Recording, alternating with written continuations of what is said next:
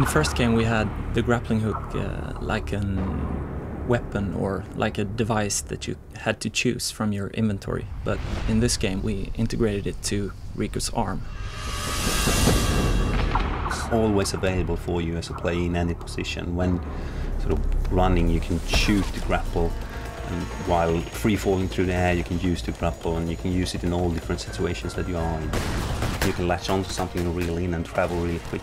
Uh, and you can combine that with another big feature from Just Cause 1, that was his parachute.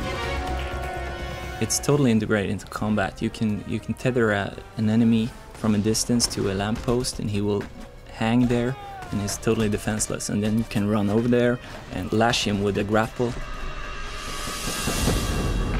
There's a lot of things that you can do with a with a dual hook. You're in a combat situation and you meet three characters and a car is driving by and you tether one of the enemies to the car and he drags away and then yay he's gone. And then a helicopter shows up and you can tether the next guy to the helicopter and he will he's gone.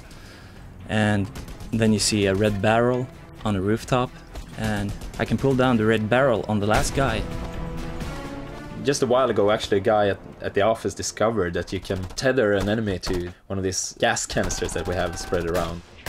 Shoot the gas canister to make it sort of the pressure makes it fly away. And that, of course, takes that enemy with it. So you can see him fly away screaming behind that gas canister. That's really, really nice.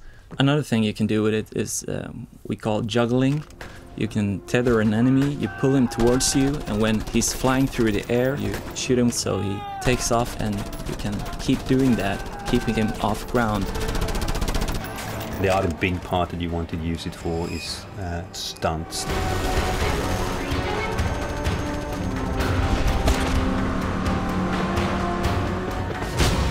I like to lift vehicles with a helicopter and actually using that vehicle as a wrecking ball. So it's really useful if you don't want to waste ammo and, or grenades. It's really very, very few limitations of what you can do with the grappling hook. I think players are going to invent new ways of using the grappling hook.